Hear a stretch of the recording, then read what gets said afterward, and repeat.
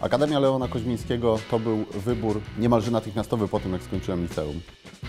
Dzisiaj jestem dyrektorem Departamentu Prawnego NEASA. Podlega mi pięć biur, w tym Biuro Prawne, Biuro Relacji Inwestorskich i Biuro Koordynacji Obsługi Prawnej w Grupie Kapitałowej, co sprowadza się do nadzorowania i monitorowania obsługi prawnej w całej Grupie Kapitałowej. Dodatkowo w Polskiej Grupie Lotniczej jestem w Radzie Nadzorczej.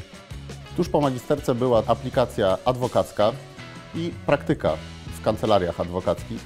Później y, pojawiła się chęć do większego zgłębienia kodeksu spółek handlowych, zajrzenia jak spółki funkcjonują od wewnątrz. To zmotywowało mnie do szukania e, pracy w spółce.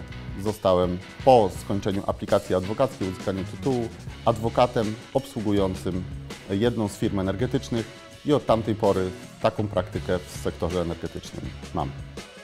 Studiowanie na Akademii Leona Koźmińskiego było wymagające. Nie tylko dlatego, że e, wykładowcy stawiali wysoko poprzeczkę, ale dlatego też, że wspólnie jako grupa na studiach staraliśmy się osiągać pewien poziom.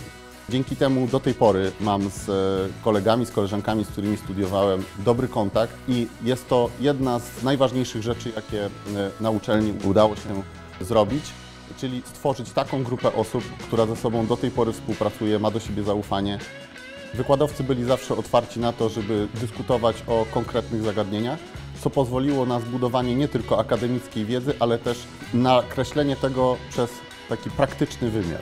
Nie trzeba było tracić lat na poznanie praktycznej strony funkcjonowania prawa, ale można było tego się dowiedzieć już częściowo na uczelni. Ten kontakt z wykładowcami i ta część praktyczna pozwalała na zupełnie inne spojrzenie na to, jak może w przyszłości wyglądać zawód.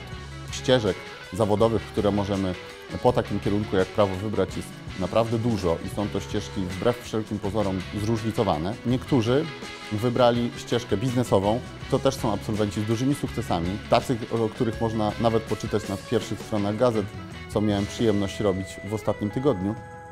Na rynku pracy, jak rozmawiam nawet z dyrektorami różnych firm, to informują mnie, że absolwent Akademii Leona Koźmińskiego to jest już osoba, którą warto się zainteresować, dlatego że daje perspektywę dobrego pracownika. My jako absolwenci jesteśmy bardzo dobrze postrzegani.